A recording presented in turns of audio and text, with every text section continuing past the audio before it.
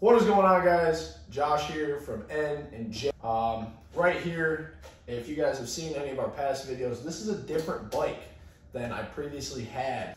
So I had an FZ07 and I put about 4,600 miles on it in the span of like four months maybe. I bought the bike in February.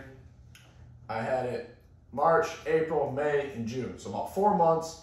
I put roughly 4,600 miles on it. And I was looking for something different. Nick and I both kind of uh, were looking to maybe get out of the sport bike world and get into something way cooler. And that brings me to this bike. So this bike here is a 2019 Indian Scout Bobber. Um, I can't remember what the color is, but it's like a matte white. and I got a steal on this bike, which I'll talk about um, a little bit later. But basically, it's going to be a long-term review. We're calling this a long-term review because I've put almost 5,000 miles on this bike since June. Um, done a couple road trips with it, and I think I'm qualified and have had enough time on the bike to uh, do a little bit of a long-term review and things I love about the bike and uh, only a couple things I don't really like about the bike. So let's uh, let's jump right into it. So I've been looking at Indian Scout bobbers pretty much since I first got into bikes and I bought my Honda Grom, which was like over a year ago. Um, I've seen these bikes and I've loved them. Um, so, I mean, the first thing to talk about, things I love about this bike are the looks. The bike just looks awesome. It looks aggressive. It's super low. And if you go to bike nights and stuff, it definitely gets people's attention. Um, not a lot of people have Indians, let alone Indian Scout bobbers. Um, so it's definitely a, a looker. A lot of people look at them and see it and, and notice it's something different.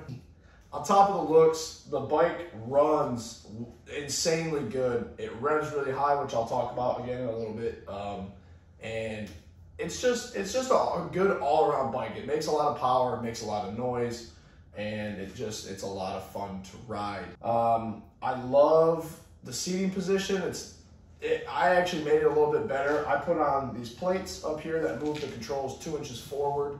Um, kind of extends my legs out a little bit more. Um, and I decided to keep drag bars on it. It does kind of fold you over a little bit, but um, the only time I really noticed that that was a problem was when we went on our road trip up to Traverse City and we did about three days of riding and it was uh, pretty rough on my back. but a lot of that has to do with the seat as well. The seat is not the most comfortable. Um, but for just kind of cruising around town and going to like South Haven and stuff, which we live about an hour away from South Haven, um, just going to South Haven and back, it's it's good enough. I love the sound of this bike. It's got a very almost raspy sound to it uh, when you really get on it, and it revs up super high. But it, I think it sounds great. Um, if anybody's seen a picture of the stock Indian Scout Bobbers, the mufflers go right here and go all the way back to the back of the wheel. Um, and as soon as I got the bike, I had to get rid of those. These little shorty pipes I bought um, from JP Cycles. I think they were a hundred, a hundred bucks, 120 bucks. Um, and I plan on doing a different exhaust, but for now I'm gonna keep it like this. It sounds great. Um, and it looks awesome in my opinion.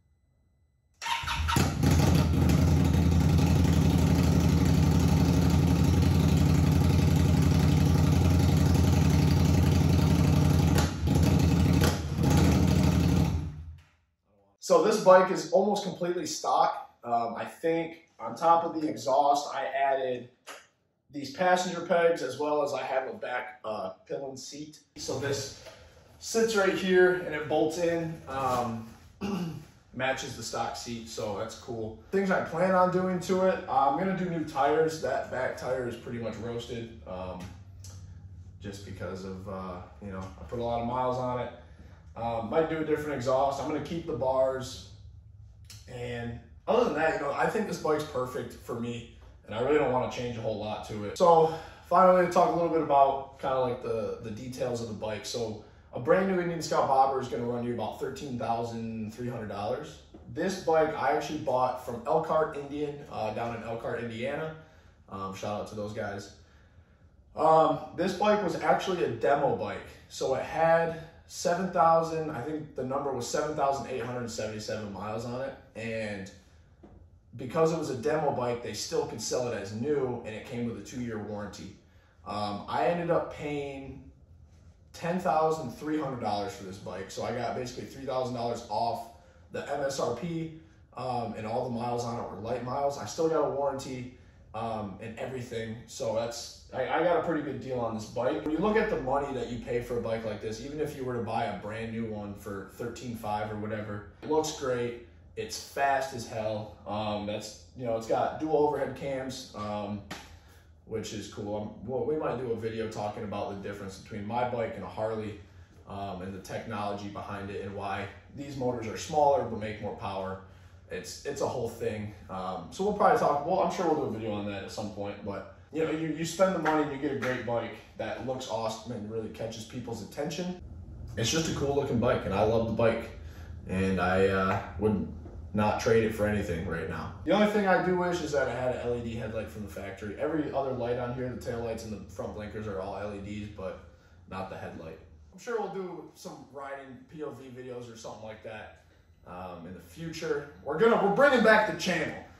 NNJ's been dead for like the whole summer pretty much, but um, we're gonna bring it back. That's all I have for today's video. It's kind of giving you guys a review of my 2019 Indian Scout Bobber. So I hope you guys enjoyed the video. And uh, if you want to subscribe, that would be cool. Check out some of our other videos and, you know, subscribe so uh, you guys can hear our, or see our new videos when they come out, which hopefully there will be a lot of them coming out soon. And yeah, that's all I got. So uh, thanks for watching, and we'll catch you guys next time.